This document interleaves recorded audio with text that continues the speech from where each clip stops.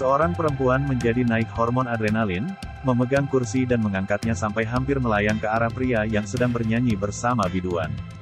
Pria yang bernyanyi tersebut diketahui adalah suaminya.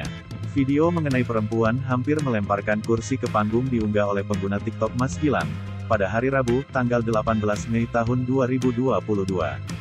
Sampai hari ini, Jumat tanggal 20 Mei tahun 2022, videonya telah disaksikan lebih dari 5 juta tayangan.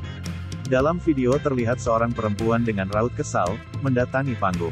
Dalam video terlihat seorang perempuan dengan raut kesal, mendatangi panggung. Saking kesal, kursi yang di depannya hampir melayang ke arah pria yang sedang bernyanyi dengan biduan. Karena hampir dilempar, pria berbaju merah turun dan mengikuti perempuan yang disebutkan sebagai istrinya itu. Video ini mendatangkan gelak tawa dari warganet, melihat aksi pasangan suami istri demikian. Ada pula sebagian menyebut, tindakan istrinya adalah benar, karena tidak ada perempuan yang rela melihat suaminya dekat dengan wanita lain.